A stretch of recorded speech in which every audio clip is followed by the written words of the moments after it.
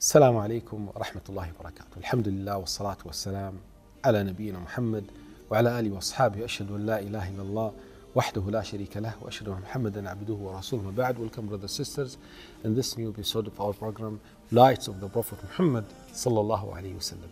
The hadith today says Whoever does not give up forged speech and evil actions Allah is not in need of his leaving his food and drink.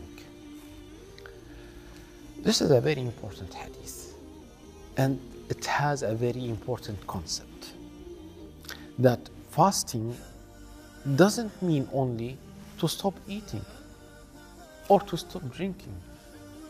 Fasting doesn't mean to pray on time. Fasting doesn't mean that at night I go to the masjid to pray Taraweeh in the congregation. Fasting doesn't mean, I mean, fasting Ramadan doesn't mean that I, I, I distribute the food for the poor people. All of them very important during the month of Ramadan.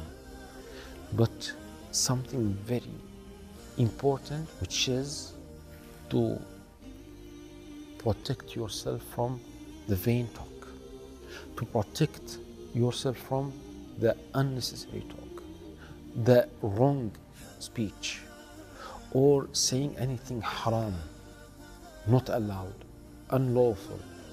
You have to be careful. Don't lie, don't insult, don't curse.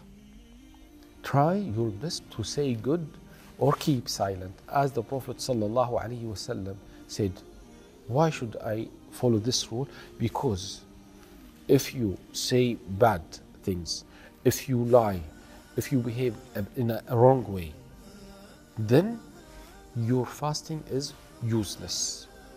Allah subhanahu wa ta'ala will not give you any reward. Yes, I have to fast. But because of the wrong speech and also the bad behavior, you lose all of your reward. Subhanallah. The Prophet ﷺ, when they asked the companions, Do you know who is the bankrupt? The companion said, Oh Rasulullah, the bankrupt means the one who doesn't have money, the one who doesn't have wealth, the one who doesn't have house. It means if you don't have car, if you don't have house, if you don't have gold, silver, it, this is the meaning of bankrupt person. Al-muflis. The Prophet said, Al-muflis min ummati, the bankrupt of my nation, it means the one who has salah, prayers, who has zakah, charity. It means he gave charity, who's fasting, who's doing great deeds. But what is the problem? The problem, he insulted this person. He oppressed the other person. Maybe he killed this person. Or he fought this person. So these people will take from his hasanat, from his reward, until his reward finish, until his hasanat finish. Then those people will give him their sins. Then Allah will tell the angels, take this person to the hellfire. Subhanallah. He will be in the hellfire. And he was fasting Ramadan. He was praying on time. He was giving charity. Yes, because he was wasting his reward by insulting the others, bothering the others, cursing the others, beating the others. So we need to be very careful how to protect our hasanat, our reward.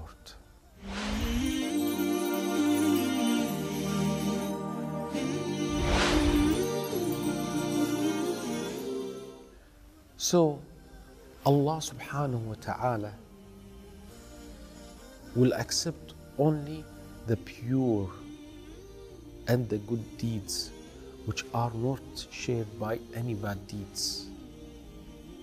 I mean by, by, by we should not invalidate our good deeds by the wrong actions. Don't think that if I am fasting, I am praying, I am giving charity, I am doing Hajj, this doesn't mean that my rewards, all of my rewards will be accepted and I will find them at the day of judgment. There is a risk or there is a chance that you lose your reward. But I am praying. Yes, you are praying, but you are doing something wrong to lose your hasanat. So try your best to protect your hasanat. How? Keep silent. The Prophet ﷺ said, Man samata. The one who keeps silent, he's saving himself. The if you believe in Allah and the last day, say good or keep silent. Okay, and that's why the Prophet ﷺ okay, uh, was doing i'tikaf the last 10 days of Ramadan. He was doing i'tikaf the last 10 days of Ramadan. What is the meaning of i'tikaf? I'tikaf means to stay in the masjid. It is not allowed. It is not allowed to get out the masjid.